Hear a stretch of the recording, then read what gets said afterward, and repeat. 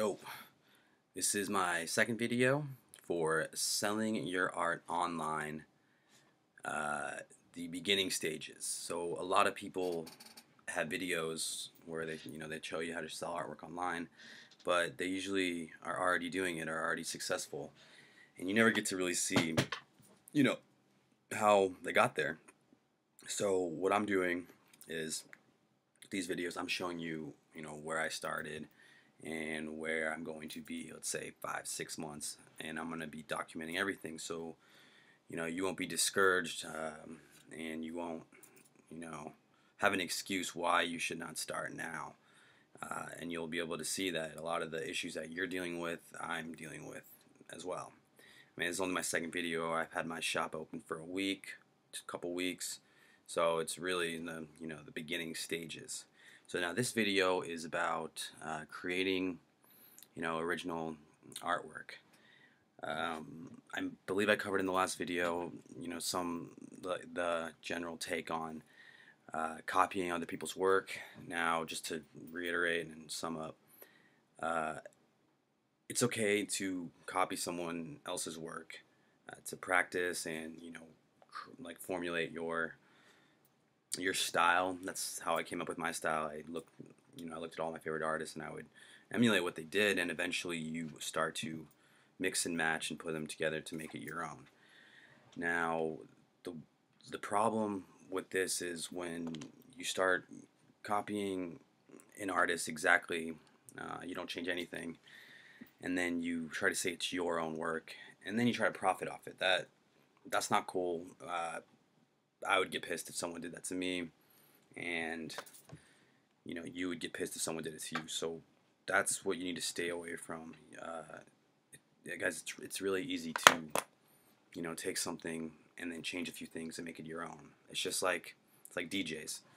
You know, they take a couple songs, put it together. Now it's a different song, but you still can see the remnants of the original songs, but they put their own spin on it, and that's you know that's what you need to do with your artwork. If you are you know if you're stuck or you can't come up with something just completely out of your head then i'm going to show you my process on you know how i create art uh, by using references. I mean i references are you know one of the best ways to learn.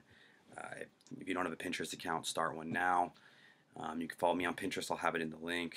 Um, i might have covered this in the last video. I don't know but so pissed because I I've been building this Pinterest account for five six years.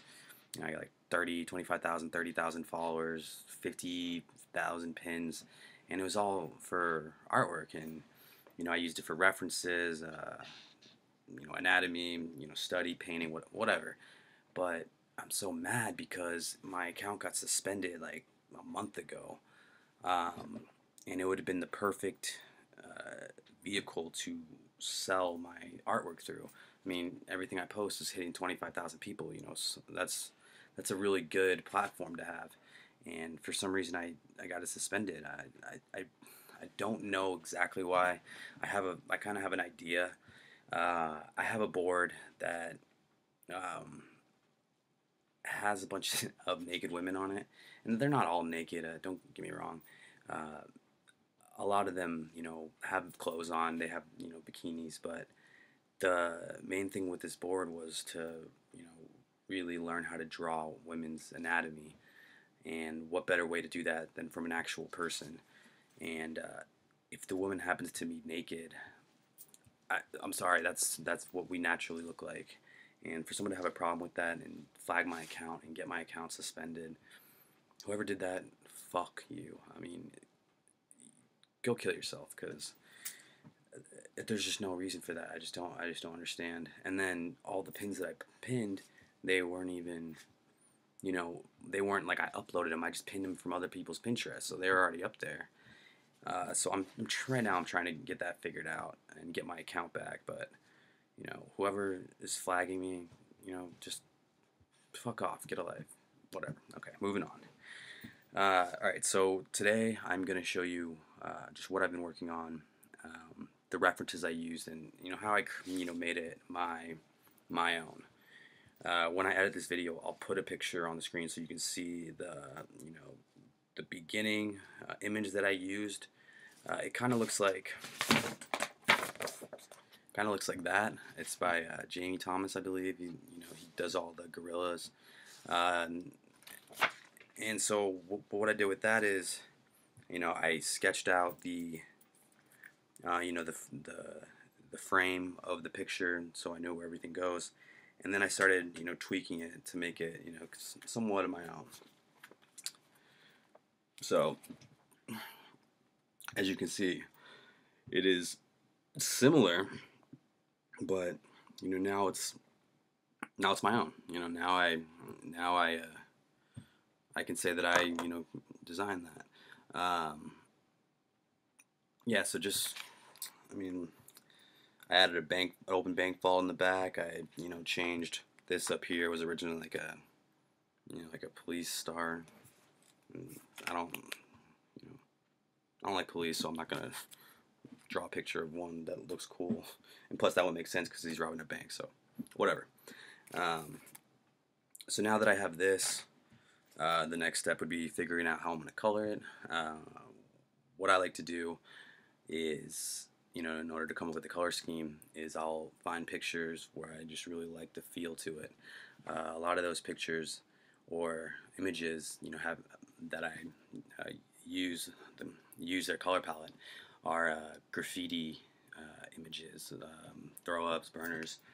For some reason, graffiti artists are really good at, choosing the color they use in their pieces, and they really know how to make you know certain shit pop out.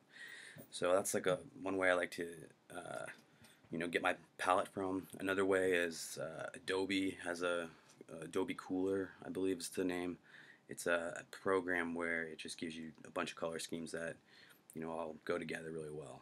So that's you know that's another way to do it. Um, and then after you figure out your color, uh, you you want to figure out how it's actually going to look. I mean, you can have everything. You can have five different paintings, all the same color scheme, but all look different uh, depending on you know the texture you put into it. Uh, um, you know the type of shading, um, the design, the you know how saturated it is whatever you know there's a million ways to tweak it so I'm gonna you know pause this video and then I'll come back with the colored version alright so I'm pretty much done with all the coloring that I want to do on paper uh, just so you guys can see this is what I came up with uh, and now what I'm gonna do from here is I'm gonna either take a picture scan it in and then uh, edit, you know, a couple things on Photoshop just to, you know, make it a finished product, I guess. Um, and then once I have that, I'm going to create a print out of it and then put it on Etsy. And then, yeah, and then that's it. So I will get back with you guys uh, once I have this image up in Photoshop and I'll do a video on that, kind of showing you uh, the techniques that I use to um, to edit my photos and prints. So I'll see you guys in a bit. la la.